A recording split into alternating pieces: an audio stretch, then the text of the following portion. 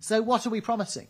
We would stop all new fossil fuel projects in the UK and cancel those that have been recently licensed, like Rosebank.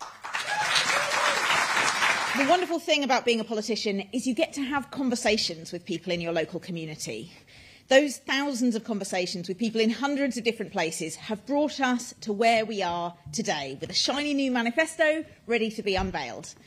Our manifesto is based on investing to mend broken Britain and offer real hope and real change. We would be more ambitious than any other party when it comes to renewable energy, investing to ensure that our energy can come from wind and solar power.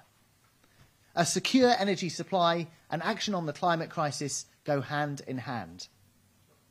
Our investment in public transport, support to switch to electric vehicles, and homes heated without fossil fuels means we would put this country on path to being net zero years ahead of other parties.